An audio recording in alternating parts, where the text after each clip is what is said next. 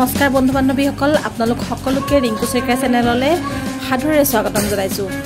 বন্ধু বান্ধৱীসকল আজি আমি এনেই ফুৰিবলৈ আহিছিলোঁ। হঠাৎ এই ব্যক্তিজনক আমি দেখা পালোঁ আৰু চাওকচোন তেখেত বিশেষভাৱে অক্ষম হয়। নিশ্চয় তেখেতৰ জীৱনটো বহুত কষ্টৰে ভৰি আছে আৰু আমি তেখেতৰ ওচৰলৈ যাব বিচাৰিম তেখেতৰ পৰা জানিব বিচাৰিম তেখেতে কোন মুহূৰ্তত কেনেকৈ কিদৰে তেখেতৰ এই অৱস্থা হৈছিল আৰু বৰ্তমান জীৱন সংগ্ৰাম তেওঁ কেনেকৈ যুঁজি আছে এই সকলোবোৰ কথা আমি তেখেতৰ ওচৰলৈ গৈ তেখেতৰ মুখেৰে শুনো আৰু আপোনালোকেও ভিডিঅ'টোৰ দ্বাৰা সকলোবোৰ কথা শুনকচোন। নমস্কাৰ দাদা। আপোনাৰ দেখি আমাৰ বেয়া লাগিছে আহ, আহিছোঁ আপোনাৰ ওচৰলৈ। অকণ ৰাইজকো দেখুৱাওঁ আপোনাক আৰু আপোনাৰ পৰা দুআষাৰ জানিব আহিছোঁ। আহ, গতিকে আপুনি আপোনাৰ বিষয়ে অলপ মোক চমুকৈ ক'লে মই নথৈ সুখী হ'ম। আৰু চেষ্টা কৰিম আপোনাক কিবা সহায় সাৰথি কৰিব পাৰোঁ নেকি?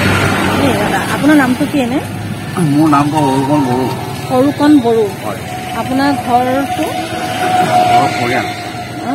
ঘৰ ক'ত আছে বুলি কৈছিলে? ঘৰ দুমুখী জালজুৰি। দুমুখী জালজুৰি। হয়। দুমুখী জালজুৰিত আপোনাৰ ঘৰ। এখন চাইকেল নেকি বাৰু? চাইকেল। সেই চৰকাৰৰ পৰা কি দিব তাৰমানে অকল চাইকেলখনে পাইছোঁ? চাইকেলখনো পাইছিলে। আপুনি এইখিনি নিজে বনাই লৈছে নে এনেকুৱাই? নিজে বনাই লৈছোঁ তাৰমানে।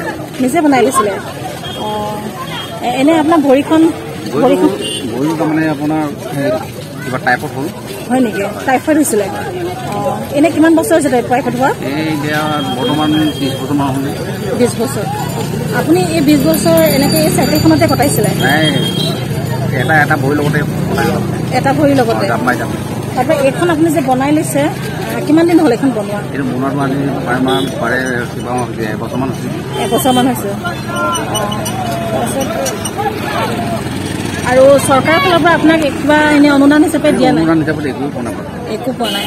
এনে গাঁৱৰ যিসকল মুখিয়াল থাকে তেওঁলোকে লাগিছেনে? আপুনি এইবিলাক কিবা কিবি মানে মই এই মাহতে এবাৰ গৈছিলোঁ। তেখেতে যাওঁতে তাৰমানে কৈছে যে চাইকেল এখন দিওঁ বুলি ক'লে। এই চাইকেলখনে এইটো বুলি কৈছে তাৰমানে। হাওলাঘাটৰ পৰাই তাৰমানে বনাই দিছে আৰু। আপুনি এই চাইকেলখন লৈয়ে অহা যোৱা কৰে।